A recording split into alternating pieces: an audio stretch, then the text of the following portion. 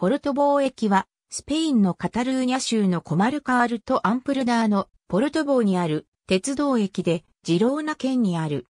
当駅とセルベール駅との間のピレネー山脈と端部を貫くトンネル内にフランスとの国境があり、SNCF の国内線列車も当駅まで乗り入れる。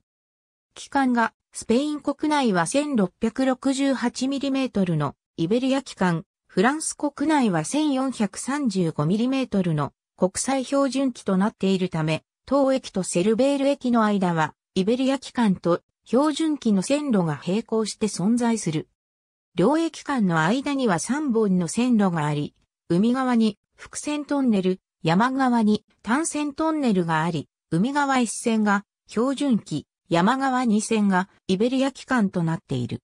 また、直通する旅客列車には、タルゴ客車が用いられ、当駅構内フランス方にある機関変更線路を経由することにより、車軸の機関を伸縮させている。また機関車は、機関変更ができないため当たり駅で付け替えられる。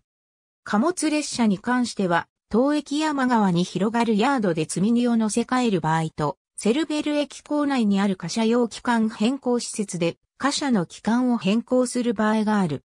ポルトボー駅は1870年により、タラゴナ・バルセロナ・フランス鉄道によって建設され1872年に鉄道が開業した。1878年1月20日には仙台の駅が完成し、使用され始めた。その後、TBF は1898年1月1日にマドリード・サラゴサ・アリカンテ鉄道に買収された。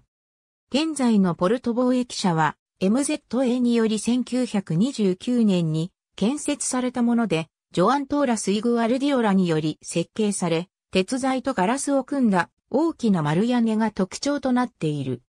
フランス国内から当駅まで運転される列車は、当駅に列車のみ国境区間の客扱いを行い、袋の当駅からセルベールまでは客扱いを行わない。